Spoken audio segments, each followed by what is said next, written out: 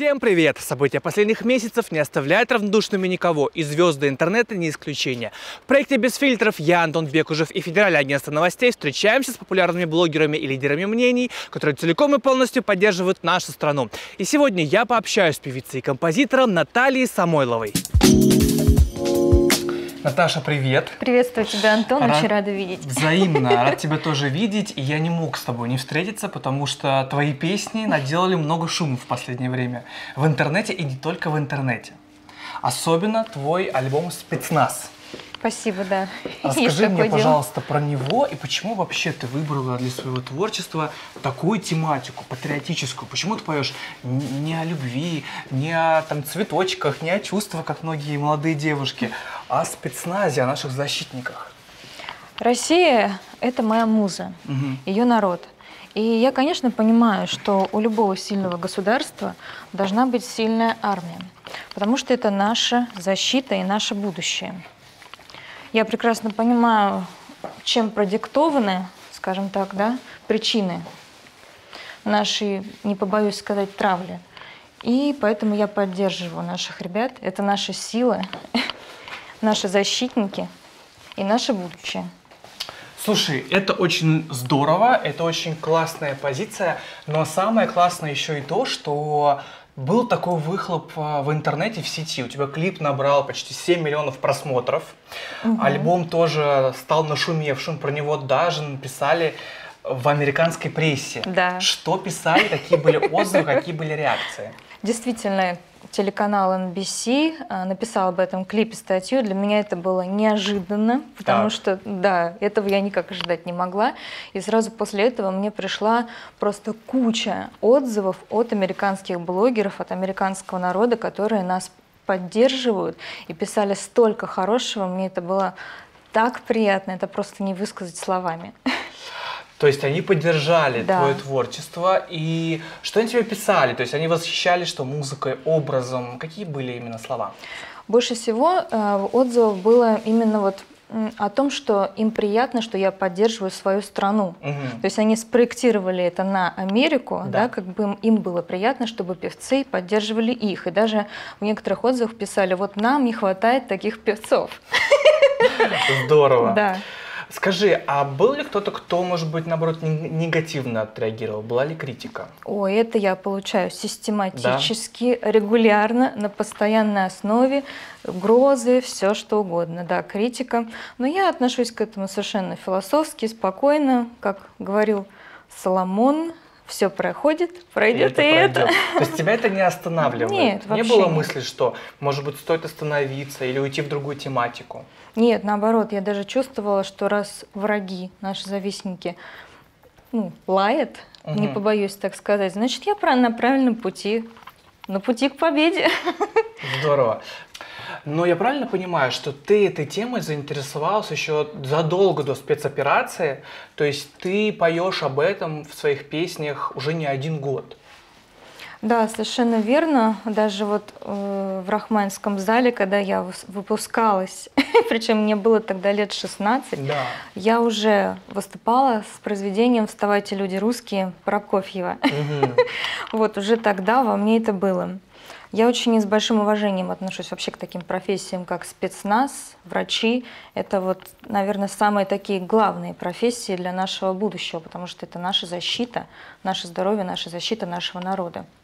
Слушай, здорово. И самое, мне кажется, ценное, то, что сейчас, особенно вот в последнее время, в последний год, эта тематика стала еще более актуальной, и вот мне кажется, твое творчество сейчас какой-то новой волной, мне кажется, поднимется вверх и станет еще более... Ой, дай бог, твои да, слова, да. да. Я уверен, что так и Спасибо. будет. Будем, да, надеяться на это. Но действительно, все больше и больше концертов под Новый год. Вот у нас, кстати, снова в командировка будет на передовую. Угу. Мы едем снова, да, на передовую, ночевать в полях. После Нового года? До Нового года уже вот-вот мы уезжаем, да. А о твоей поездке предыдущей на Донбасс мы поговорим совсем скоро. Наташ, не так давно ты была на Донбассе. Расскажи мне про эту поездку. Что ты там делала, перед кем ты выступала, как прошло все? Да, это была поездка в июле. Угу. Мы ездили на 7 дней, посетили города ЛНР, ДНР. Вот. А нас встречали там, конечно, со слезами на глазах. Это так было приятно, когда люди подходили и говорили, мы вас так ждали.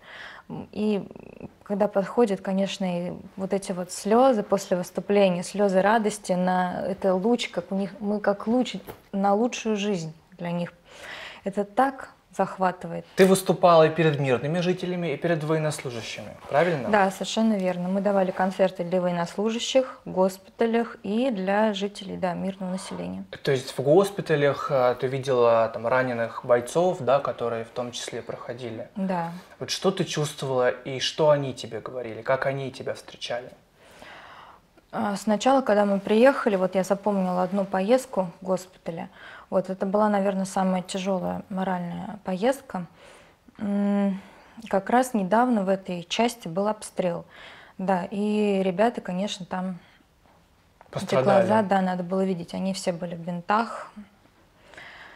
Вот. И, конечно, после концерта увидеть на этих лицах улыбки, они должны, как бы, они понимают, что они нужны, что их ждут, что их любят.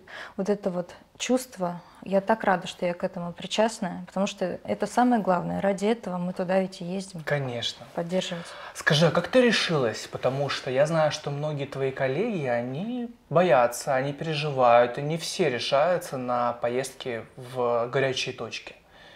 Я горжусь тем, что я делаю. И если меня позовут, и уже позвали, я это буду делать с большой радостью с большой гордостью.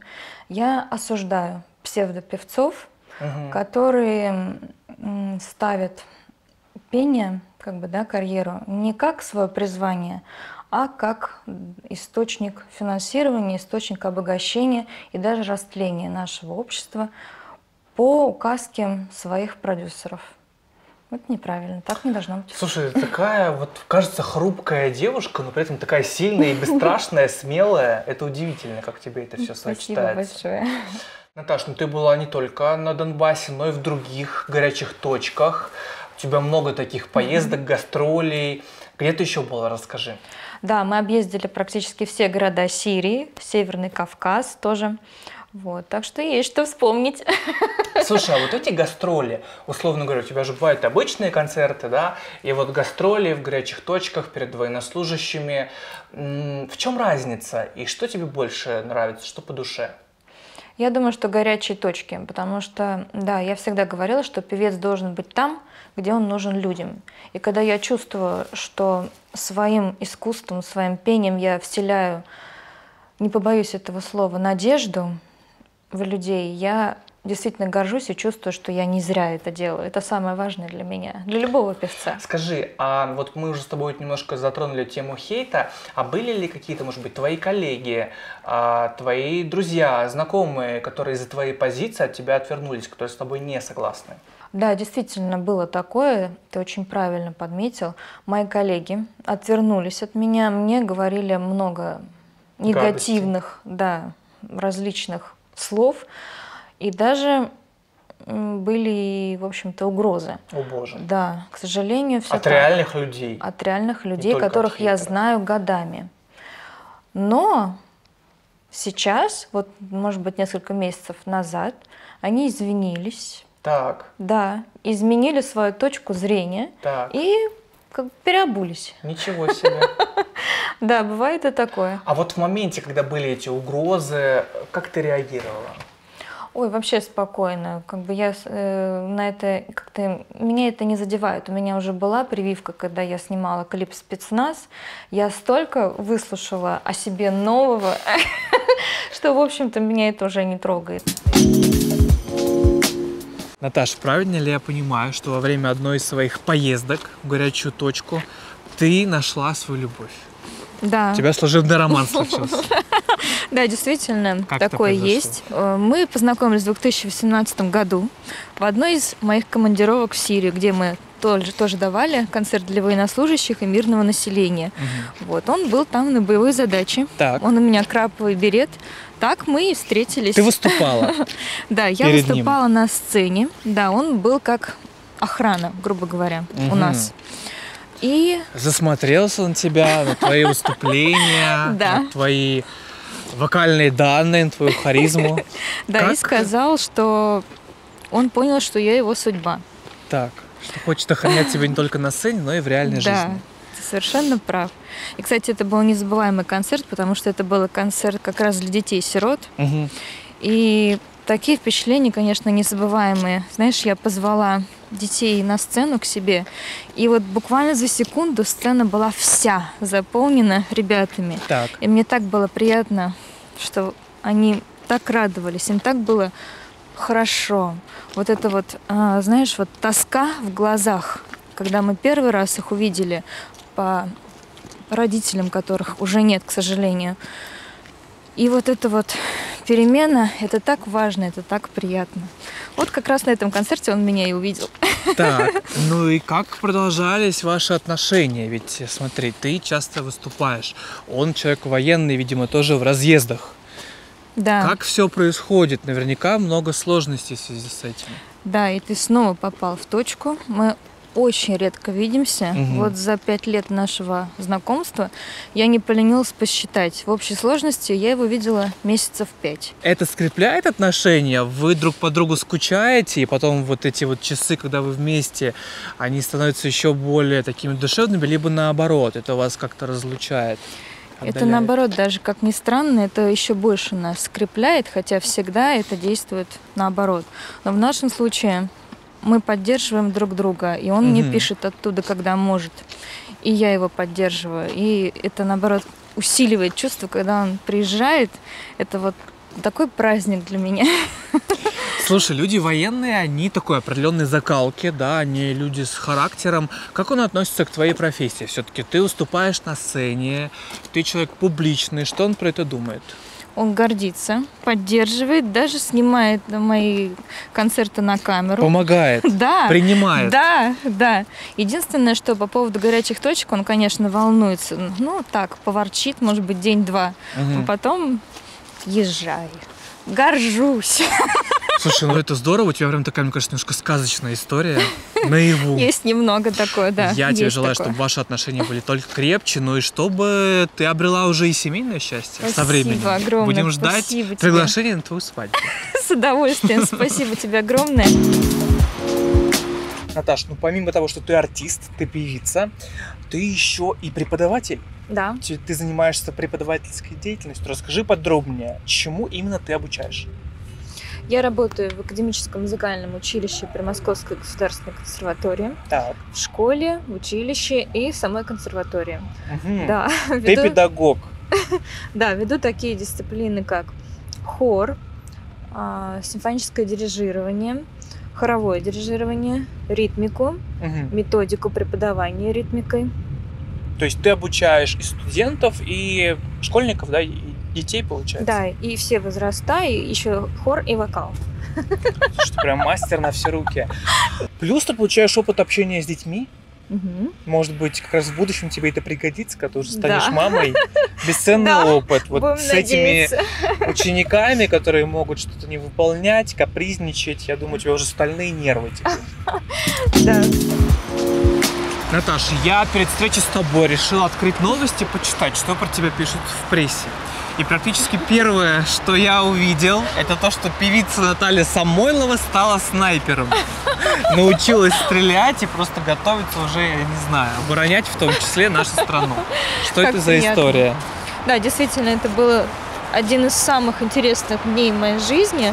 Вот, московский СОБР в угу. декабрьский мороз так. обучал меня стрельбе, тактике из винтовки СВ 96. То есть ты научилась стрелять? Да, и очень этим горжусь. Я попала в цель. Так, ты снайпер настоящий. Ну, Такая хрупкая маленькая девушка умеет стрелять. Ну, наверное, больше все-таки в сердца я стараюсь стрелять людей в хорошем плане, в плане любви. Ну и это тоже. Тебе этот опыт понравился? Очень. Мне было так интересно. Это были просто незабываемые эмоции, когда ты понимаешь, что ты делаешь, как это наводишь прицел, как это все происходит. Наташа, мы с тобой не просто так приехали в библиотеку. Ты угу. человек искусства. Я думаю, тебе близка не только музыка, но и литература. Да. Ты знаешь, сейчас вот такое в последнее время пошло веяние да, на Западе, что российскую культуру, литературу, музыку э, хотят отменить. Что ты об этом думаешь вообще? Насколько это реально? Можно ли это сделать? Я думаю, что это нереально сделать. Я отношусь к этому крайне негативно, не угу. понимаю, как это вообще возможно, даже мыслить об этом. Все это, конечно, от недостатка образования, недостатка культуры. В этом наша память, память наших предков. К сожалению, не все занимают такую патриотическую позицию, как ты. Есть и те, кто а, уезжают из страны, кто уезжает в другие страны. Что ты думаешь об этих артистах? Я осуждаю. Это люди, к сожалению, не побоюсь сказать, недалекого ума, потому что как можно отказаться от родины, как можно отказаться от своих предков? Это все равно, что отказаться от, своих от своей семьи, от своей матери, от своих родных. Я это не приемлю, и для меня это просто невозможно. Это как птицы, которые обрубили крылья. Они считают, что их там ждут. Я думаю, что ни для кого не секрет, что молодым талантам подрезают где-то возможности выступлений, где-то угу. подрезают, опять Ты же, на себе те же это самые. прочувствовала? Да, есть такое так. дело. Вот. И как бы человек, который обрубает такую возможность для молодых талантливых исполнителей. Я даже сейчас не нахваливаю себя, я говорю из-за других. У нас полно целом, да. Да, в России талантов, которые не могут просто прорваться из определенных финансовых возможностей, которые поставили кто? Именно вот эти люди потому что они как-то вот так вот сгруппировали весь этот мир под себя. И я очень надеюсь, что это сейчас изменится. Наташа, ну совсем скоро тебе снова предстоит поездка на Донбасс. Да. Э, какие у тебя ожидания от этой поездки, от предстоящих концертов там? Я очень жду этой поездки, потому что я хочу поздравить ребят с Новым годом, сказать им, как мы их всех ждем, как мы в них верим, любим. И дай Бог, чтобы они вернулись все живыми и невредимыми. Для нас это очень важно. Ну, я даже готовлю с собой белый костюм. Он так. еще, да, первый раз будет. Ты как премьеры. Да, да, я буду как Снегурочка и буду петь свою песню «Ангел», как бы как подарок рождественский.